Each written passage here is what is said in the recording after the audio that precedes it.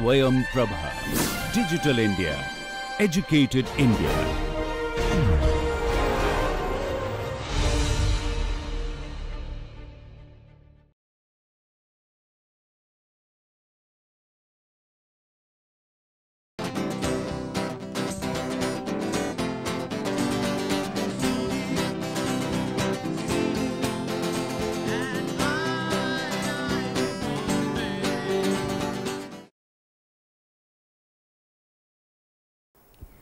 Continue our discussion on game theory. Last class if you remember we discussed about the different assumption of the game theory. What is the need of game theory generally in which case what is the usefulness of the game theory is there in the economic analysis. Then we discussed about the structure of a game. Then we took a small example to understand what is the dominant strategy, what is the max strategy, what is the min max strategy and how generally equilibrium is achieved when there are two dominant strategy. Then we uh, introduce the concept of Nash equilibrium and uh, Nash equilibrium if you remember this is the best action given by the player whatever the irrespective of whatever the opponent does that is the best uh, strategy that is generally the Nash equilibrium. So, taking the taking the example of both the firms to advertise or not to advertise what we discussed in the previous session the same example we are going to take to understand this uh, Nash equilibrium. So, uh, just to a quick recap an, uh, Nash equilibrium is a strategy for each player uh, such that no player has the incentive to change its action unilaterally given that the other player follow the proposed action. So, generally this is a state of equilibrium, this is a state of balance beyond which whatever the effort the player they are going to put it, it is not going to change their payoff and that is why this uh, typical combination is called as the Nash equilibrium. It is generally the other way to put it is that it is the optimal collective strategy in the game involving two or more players where no player has anything to gain by changing uh, changing his or her strategy. So, this is the point this is the optimal collective strategy this is the optimal strategy for both the firms uh, beyond which whatever may be the change no player has to gain anything by changing the strategy. So, we will take the uh, same example to understand this um, Nash equilibrium and here there are two farms farm 1 and farm 2 and it is a choice uh, between them that whether they should advertise or whether they should not advertise. So, we will take the case of farm 2 here, here we will take the case of farm 1. Here it is uh, whether they should go for the advertisement, whether they should not advertise.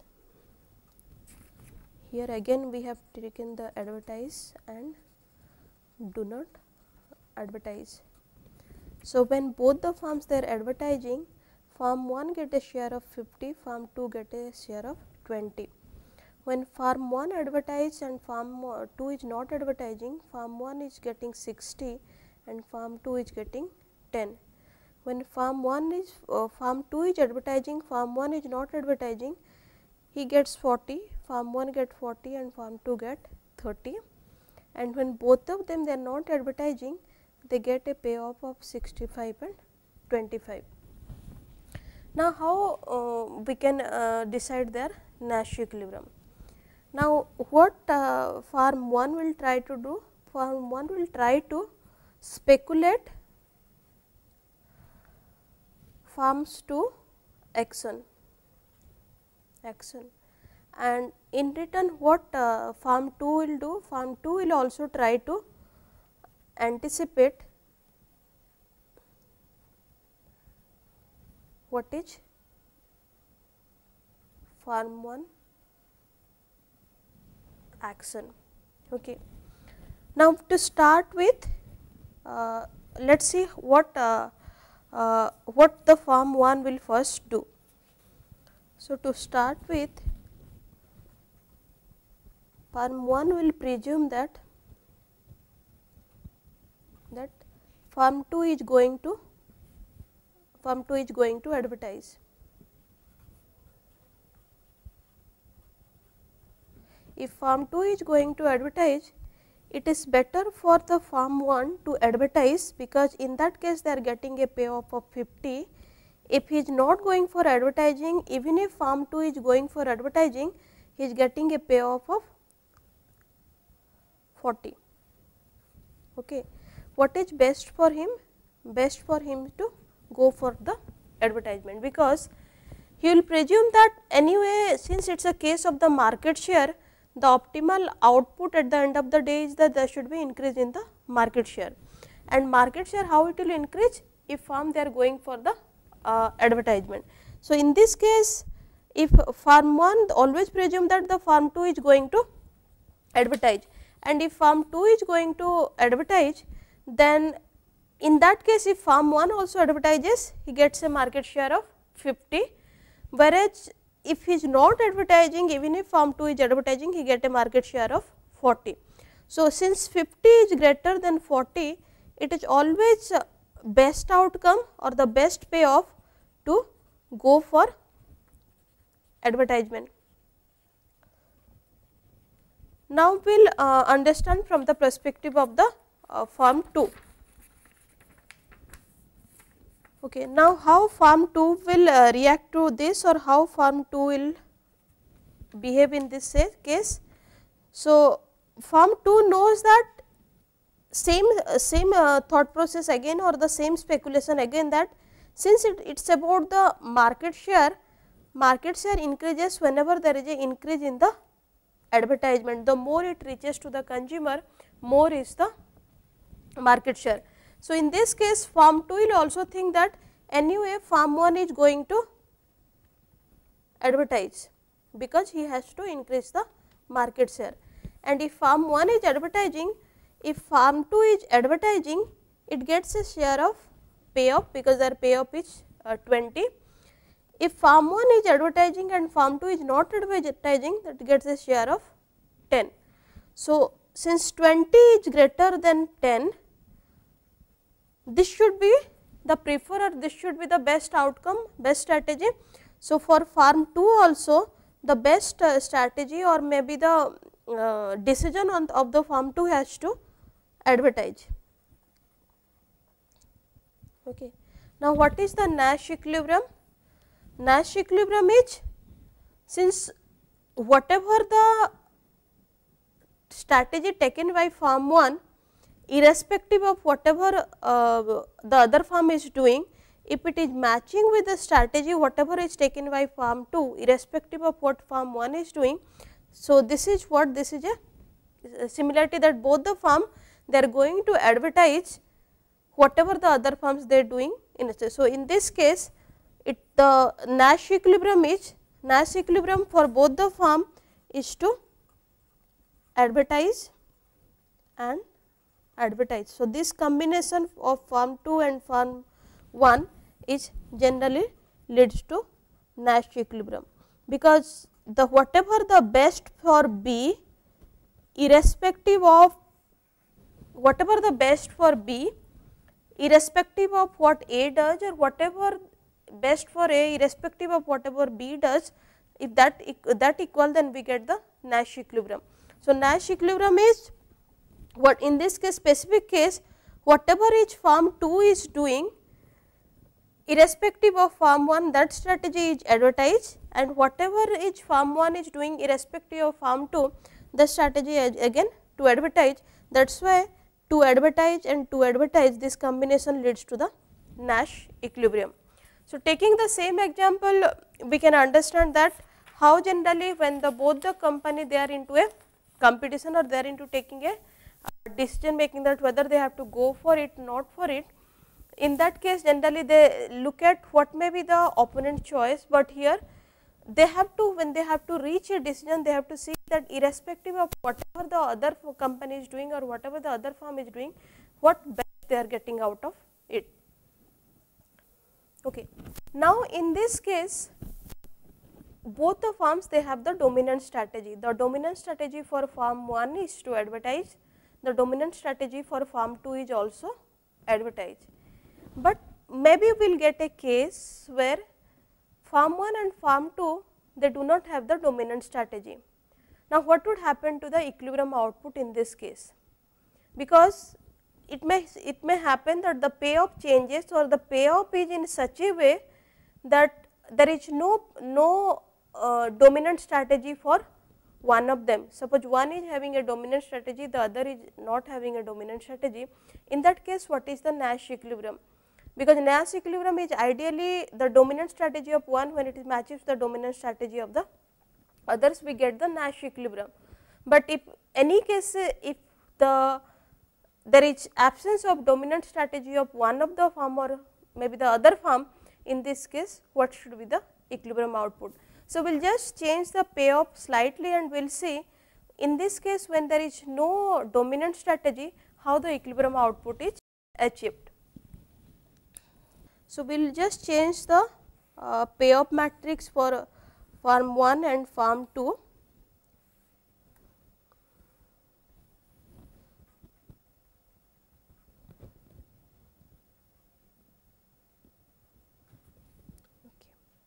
So, this is advertise, this is not advertising, this is advertising, this is not advertising. So, this is the payoff in the first case, this is the payoff in the second case, this is the payoff in the third case, this is the payoff in the fourth case. Okay. Now, we will start it again. How to whether we can reach the equilibrium looking at the strategy taken by farm A and farm 2. Now, suppose if farm 1 advertises. Now, what farm 2 will do? Farm 2 will also advertise because it getter it gets a better payoff in case of advertising like uh, 50 and 40. Now, sorry it is 20 and 10 because 20 he gets by advertising by not advertising it gets 10. Suppose if farm 1 is not advertising. Okay. Now, here you need to look at the options that whether it is still profitable for the second farm to go for the advertising. So, if farm 1 is not advertising, now what the farm 2 will do? Farm 2 will also not advertise because the payoff what they are getting from uh, not advertising is uh, higher than the whatever the payment they are getting from the advertising.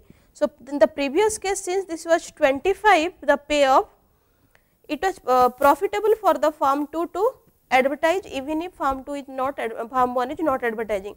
But in this case if farm 1 is not advertising and farm 2 is advertising they are getting a payoff of 30.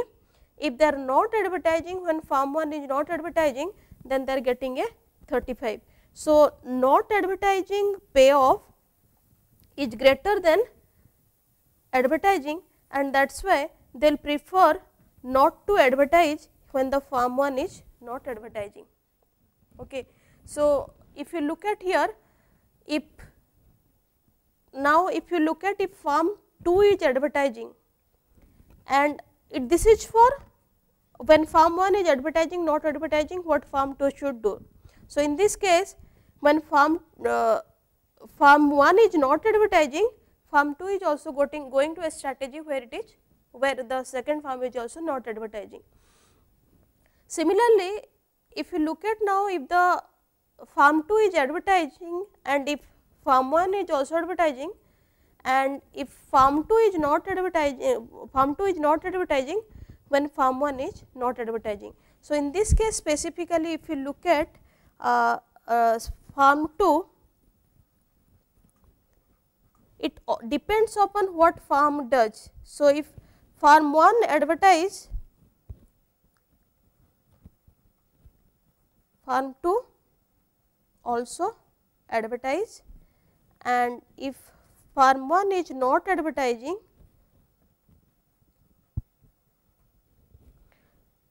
farm 2 is also not advertising. This leads to the conclusion that farm 2 it does not have a dominant strategy because the strategy are different whenever the opponent changes the whenever the opponent changes the strategy even the other farm also they have to change the strategy. So, we reach to one conclusion here that farm 2 does not have a dominant strategy. Now, we will analyze the case for farm 1. Okay. So, we will just uh, take the payoff matrix for the reference. So, this is farm 2 advertising. Not advertising. This is farm 1 again this is advertising. This is not advertising. And the payoff are 50 20 40 30 60 10 and 65 35 so, we have already reached to a conclusion that farm 2 does not have a dominant strategy because it is dependent on farm 1. If farm 1 advertise, it advertise, farm 1 is not advertising, it is not advertising. Now, we will analyze for farm 1. If farm 2 advertise, then it is better for farm 1 to also advertise. Why it is better for farm 1 to also advertise? Because 50 the payoff of advertising is greater than 40 which is the payoff for not advertising. This is one situation. Second, when farm 2 is not advertising, in this case if farm 2 is not advertising, if farm 1 is advertising, they get a payoff of 60. When farm 2 is not advertising and farm 1 is also not advertising, they get a payoff of 65. So, not advertise is the payoff of not advertise is greater than the payoff for advertise. So, now what is the best for uh, farm 1 here?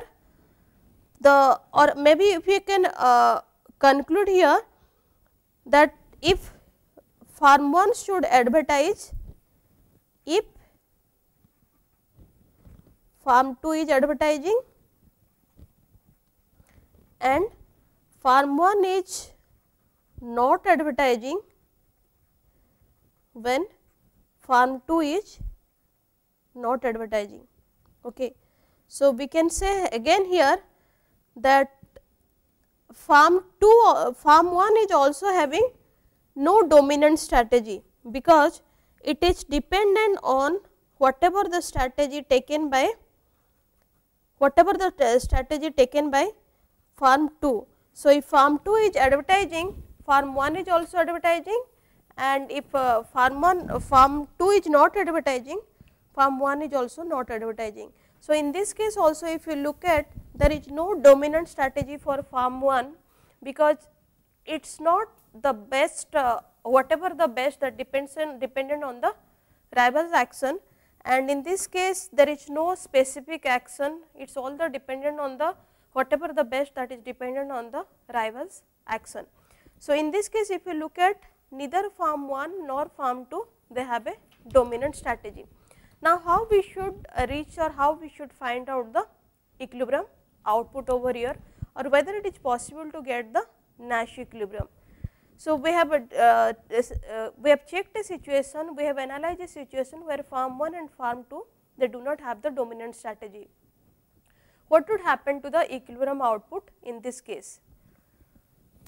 Here we will get two, two Nash equilibrium, we will not get a individual Nash equilibrium for the entire situation.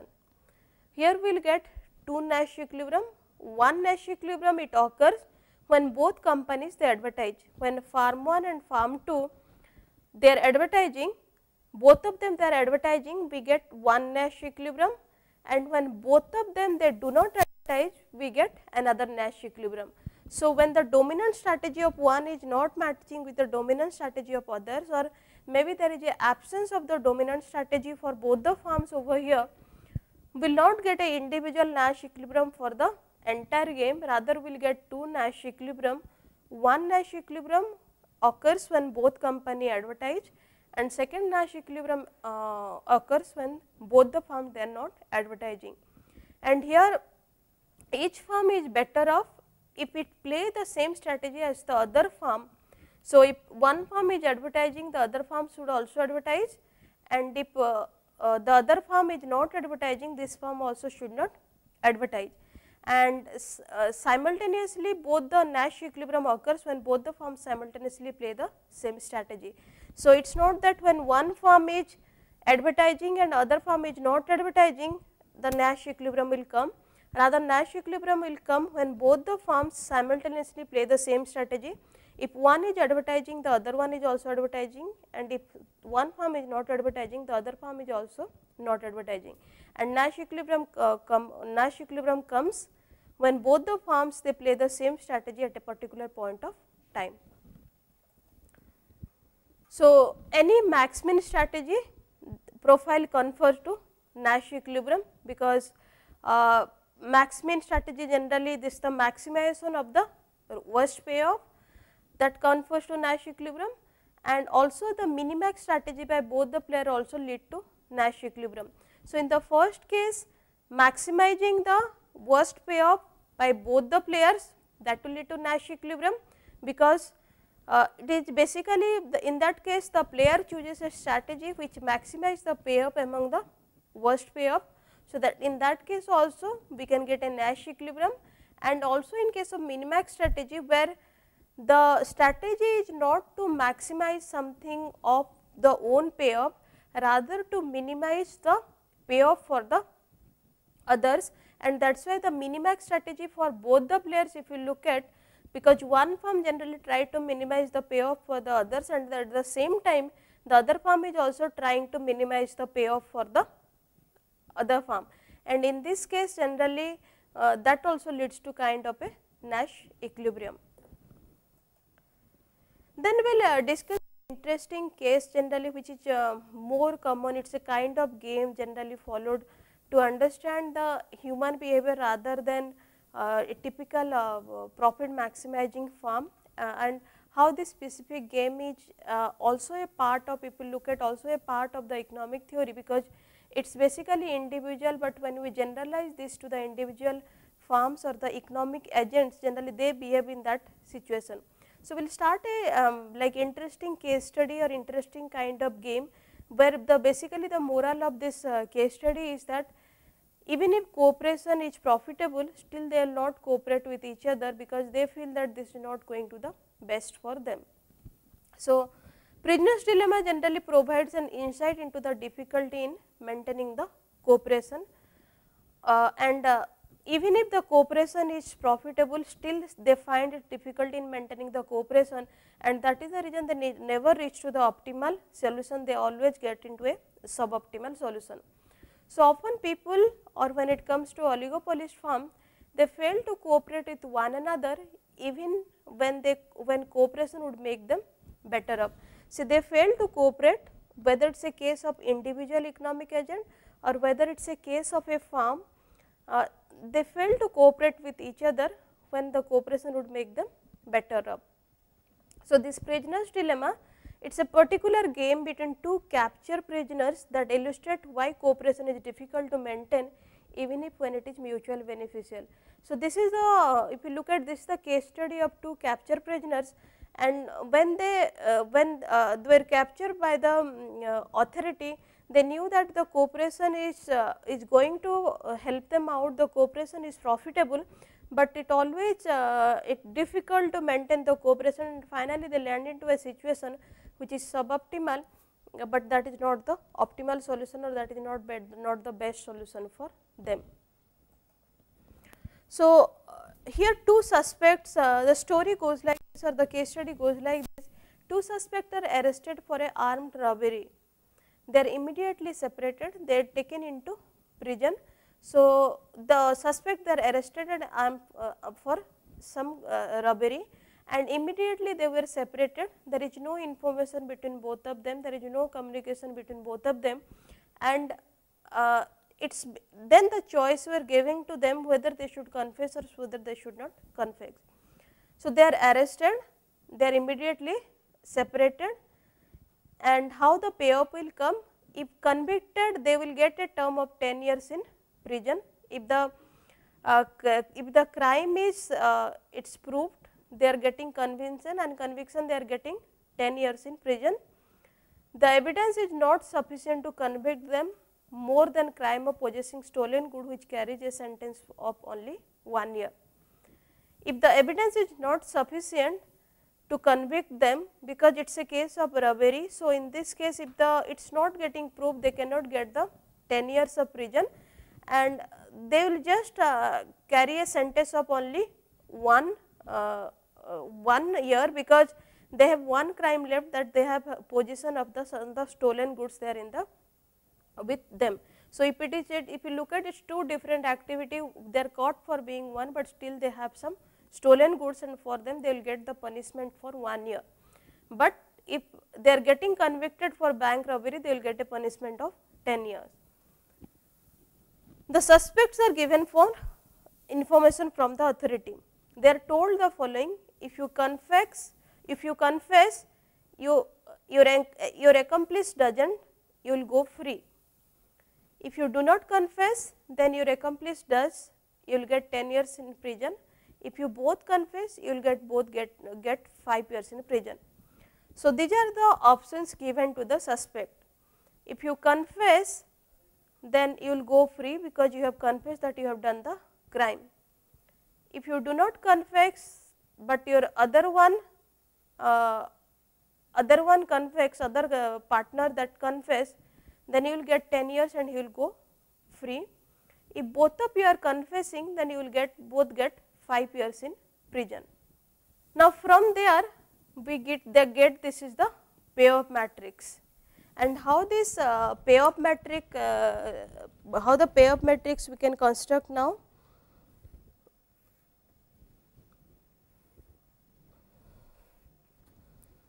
This is for prisoner 1 this is for prisoner 2. So, in this case is getting 10 years, uh, both of them they are getting their uh, okay. So, both of them they get 10 years. When both of them they confess then uh, prisoner 2 if so let us call it this is confess. This is not confess this is confess. This is not confess.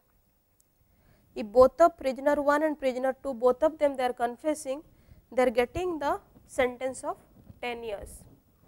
If prisoner 1 prisoner 1 not confessing prisoner 2 confess then prisoner 1 here get uh, 10 years and prisoner 2 gets uh, prisoner 2 prisoner 2 generally goes free because he has confessed. Both of them they are not confessing uh, okay prisoner 1 confess prisoner 2 not confessing.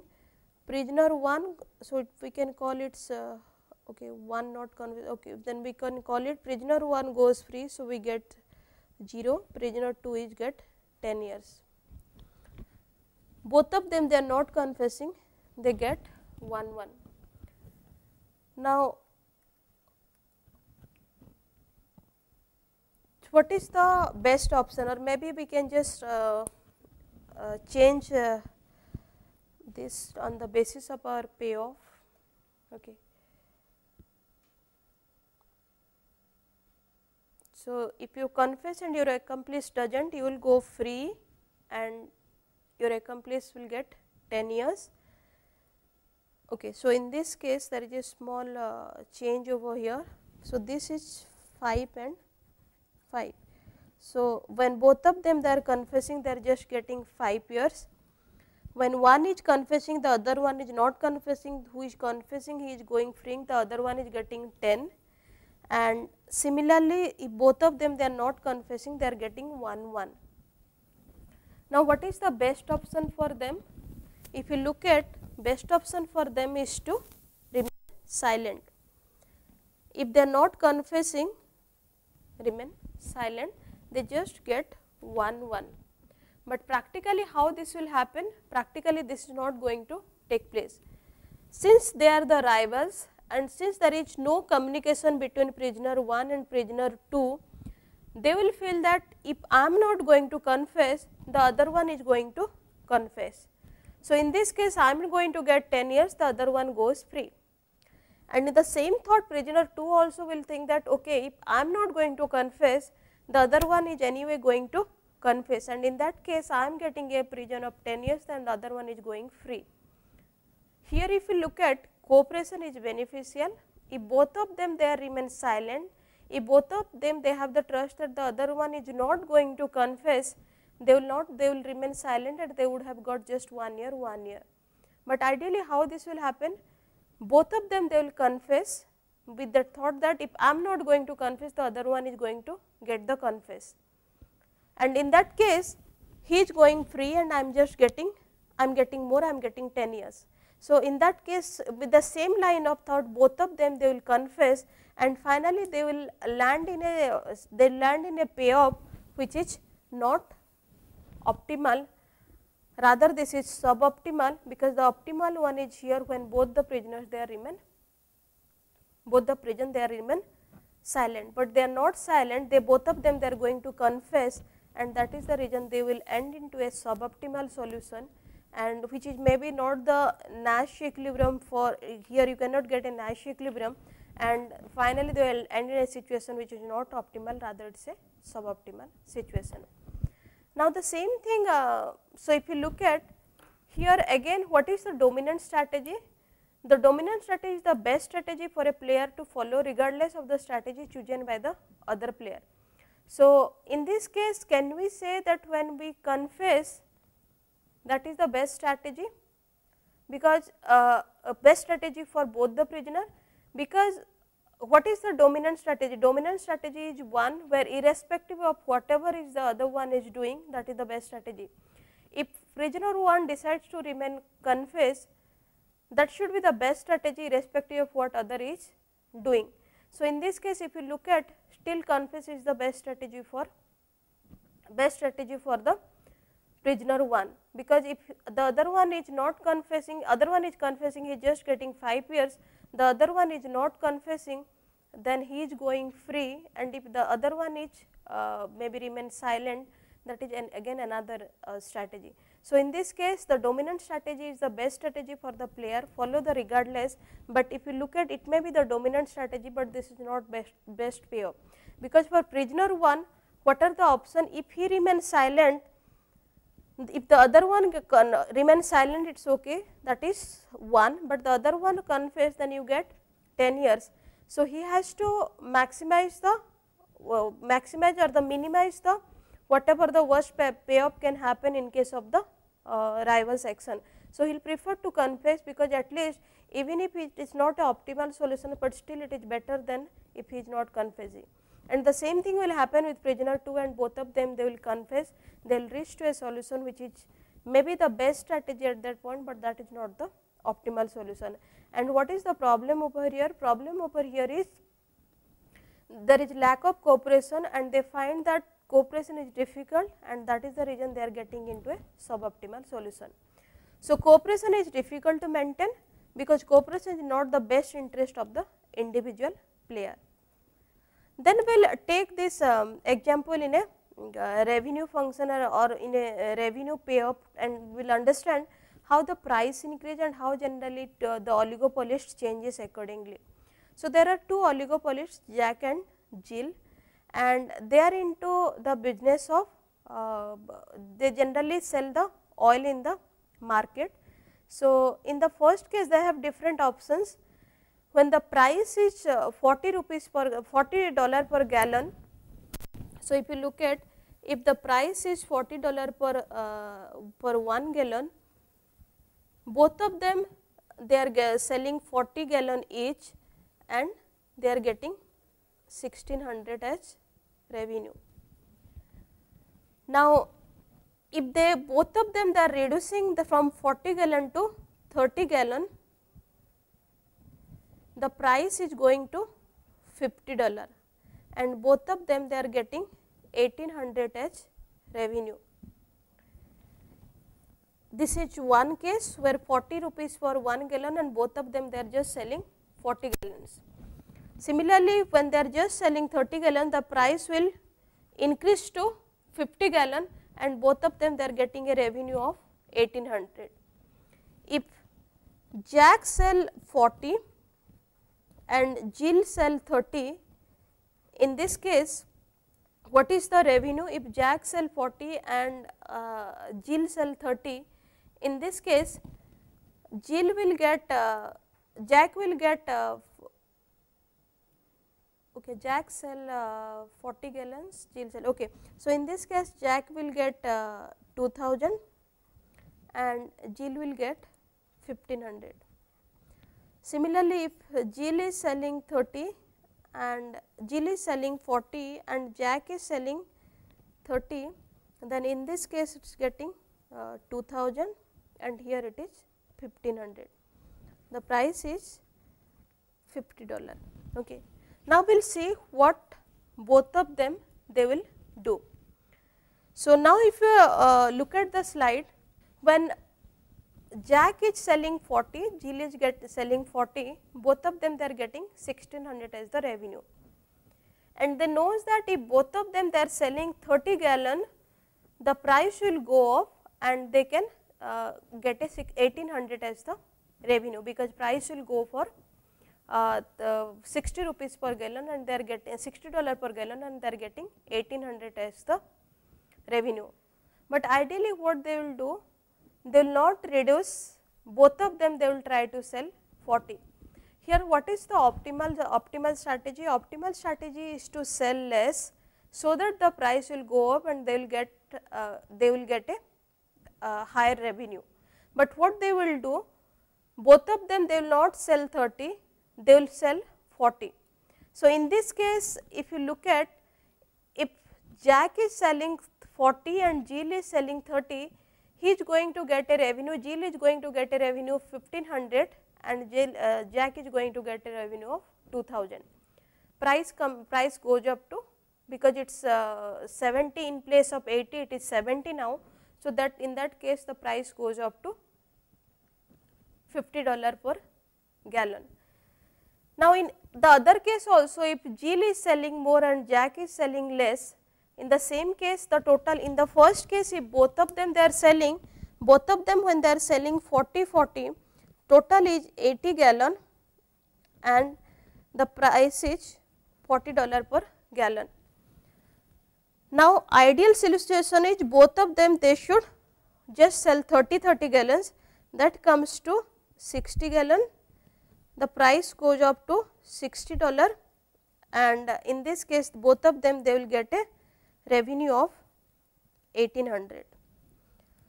What they will try to do ideal is this both of them if they are reducing they are getting it, but they will not try to reduce it both of them they are trying to just produce just sell 40 gallon and they will land in a revenue which is again not a optimal solution like if you look at here Jack gets 1600, Jill get 1600. And why they get into this 40 gallon? Because if at any point of time Jill is selling 30 gallon, he gets less revenue as compared to Jack because Jack is not going to reduce beyond 40 gallons. And in some situation if Jack is uh, Jack is reducing it to 30 gallons, Jill is not going to reduce and in this case Jack get a revenue of 1500 and Jill get a revenue of 2000. So, if you look at the payoff in the fourth uh, box, this looks more profitable for them. This should be the optimal strategy, but they will not follow here. They will end in a situation where it is uh, suboptimal or where they are getting less profit. This uh, same example can be uh, can be taken into again uh, in a different uh, context. Like you have two country country 1 and country 2. And the options are whether to keep arm and ammunition or whether to not to keep the arm and ammunition. So, the choice are if you look at uh, whether to arm or to disarm. Here again whether to arm or whether to disarm. If country 1 is keeping arm, country 2 is keeping arm, then both country 1 and country 2 they are at the risk. If country 1 is uh, disarm and country 2 is still keeping arm, in this case uh, country 1 is maybe the risk and country 2 is country 2 is safe and powerful. Similarly, here if country 1 is disarm and country 2 is keeping arm in this case again country 1 is safe and country 2 is risk and when both of them they are not keeping the arm and ammunition both of them they are safe. Here in this case what is the uh, optimal strategy?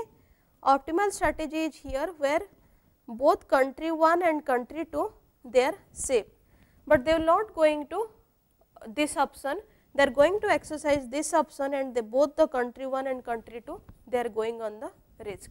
So, if you look at uh, what is what you can conclude from here on the basis of all this uh, situation that even if the cooperation is difficult, even if the cooperation is profitable, still they go situation where uh, maybe they always end into a suboptimal strategy like whether you take a case of the prisoners, whether you take the case of the oligopolist, whether you take the case of the uh, typical country, whether it is keeping arm and ammunition, all these cases cooperation is always lead them to a strategy or lead them to a outcome which is best for both of them.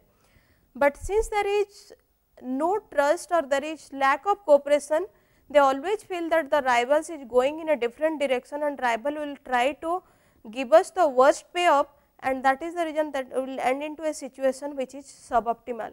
So, if you uh, if you remember from the case of prisoner, the best outcome is to remain silent, but they will not remain silent both of them they will confess and they will land into a situation which, which is suboptimal. Similarly, about the two oligopolists Jack and Jill in both these cases if they are selling both of them they are selling just 30 gallons they are getting a profit of 1800, but still they are not doing that both of them they are selling 40 gallon and finally that leads into a uh, suboptimal situation.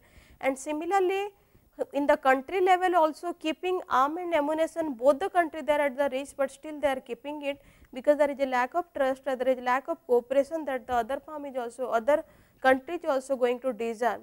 But the best option is that both of them they disarm themselves and they become uh, they become safe, but that is not going to happen in this case and that is why both of uh, both the country they keep it in the uh, they keep their strategy as arm and they get into a situation where both the countries are at the risk.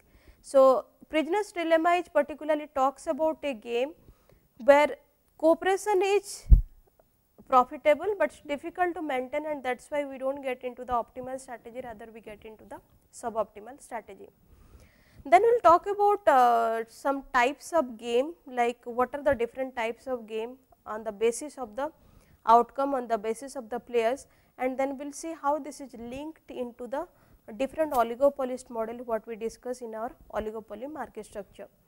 So, games are classified either on the basis of the relation between players or in the basis of the strategy or on the basis of the outcome.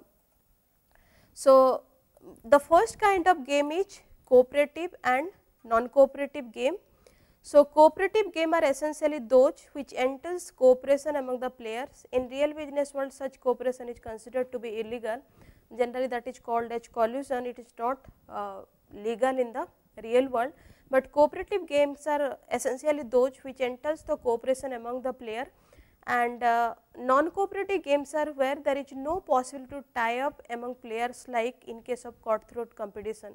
So, non-cooperative games there is no tie up between the player or there is no collision between the player it, it generally happens in case of the cutthroat competition.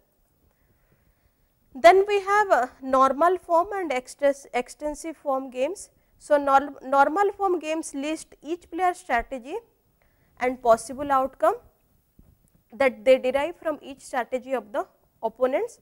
An outcome is revealed by the payoff matrix and each player's payoff is denoted by the number to measure the utility derived from each strategy. So, in the previous case whatever the payoff we are finding out on the basis of the different strategy that is generally a normal form of the game. So, normal form of the game generally identify the list of the action taken by the players that is the strategy, what is the end outcome in term of the strategy and listing all this end outcome in term of a payoff matrix that is generally the normal form of a game whereas in case of uh, extensive form of game or the typical game tree we call it gives a complete plan of action of the player over a period of time and it's it gives a chronological order in which player take their action at that particular point of time dependent on what they know at what point. So, generally game tree gives a complete plan of the uh, player over a period of time it is in a chronological order and here uh, player takes whatever the particular point of time whatever the decision takes that generally uh, if you look at the when you are deciding the uh, one decision point that leads to the what is the previous decision point and play it is dependent on the previous decision of the player. So, we will just take an example to um, understand the extensive form of game.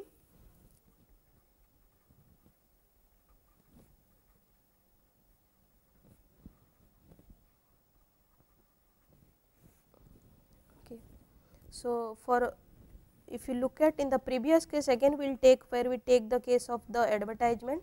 So, farm 1 if there are two options either to advertise or do not advertise. This leads to again two outcome that is for farm 2. Uh, okay, so, this leads to outcome for farm 2 and here again two, uh, two um, options advertisement or not advertisement and this leads to the payoff for both farm 1 and 2 and this comes as if you remember 50 20 and if it is not advertising then it is 60 and 10. Similarly, if it is uh, the farm 1 is do not do not advertise then this leads for farm 2 to take two action again advertise do not advertise and from here we get the payoff for farm 1 and 2. If do not farm 1 do not advertise farm 2 advertise we get a payoff of 40 30 and in, in the case of farm 1 do not advertise farm 2 also do not advertise we get a payoff of 55 and 25. So, this is the extensive form of game which uh, record the particular action at the different point of time and then dependent. So, if you look at why farm 2 is advertising it depends upon because farm 1 is advertising farm 2 why it is not advertising again it depend on what farm 1 is doing. Similarly, if you start from the payoff why the payoff is this because farm 2 is advertising because farm 1 is advertising. So, extensive form of the game or this is also known as the game tree. In this case it gives a chronological order in which players take their action at that particular point of time dependent on what they know at that particular point. Then we will uh, take a different kind of game types of game that is 2 person games and n person games. This is classification is on the basis of the number of players. So, if it is 2 number is 2 it is a 2 person games if it is more than 2 then it is a uh, n person games. Then we have a simultaneous move and sequential move games. So, in simultaneous game both the players act at the same time. Even if players do not act at the same time, the second player is informed about the first player move. So, in case of simultaneous move game, both the players act at the same time. Even if the player do not act at the same time, the second player is informed about the first player move. This game is used for generally understanding the behavior of the oligopoly firm and the typical example is Cournot model. So, if you remember in case of Cournot model, it is the uh, it is the reaction function and that decides that what will be the outcome of the uh, other firms dependent on the output of the whatever the output decision of the previous firm. Then in case of sequential game, one player acts followed by the other Second player knows that the move adopted by the first player and take its decision contingent that taken by the first player and the typical example is the Stackelberg model what we discussed in our discussion during the previous oligopolist market. So, simultaneous move game is the example of the Cournot model and sequential move game is the example of the Stackelberg model. Then we have constant sum, zero sum and non-zero sum game so, in this case the classification is on the basis of the rivalry on the basis of the outcome. So, the extent to which goals of the player is coincide is the basis of the classification. So, in a constant sum game total benefit of players given each strategy is constant the players have to share the profit. It is a game of if you look at constant sum game is the game of the total conflict and also this is a game of the pure competition. The typical example is the game of poker where it is the combined wealth of play, uh, players remain constant, player of share A increases, so share of player B must decrease. Then we have a zero sum game, here the total benefit has to be equal to 0. So, the sum of gain and loss is 0 and uh, whatever is gained by one player is lost by the other player. Then we have non-zero sum game and in case of non-zero sum game the total benefit of players added together given each strategy is more than 0 and constant. So, both the players of the game ends up in win-win or lossless situation and the typical example is the strategic alliance and the joint venture.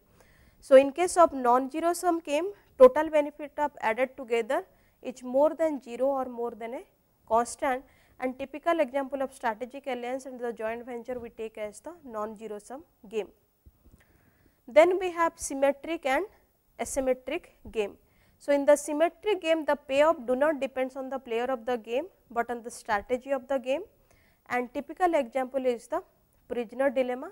So, this the here the payoff is not on the player of the game rather it is what is the strategy taken by the game and typical example prisoner dilemma what we discussed before few minutes and asymmetric game do not have identical strategy for both the player because they are asymmetric and typical example is the market entry game.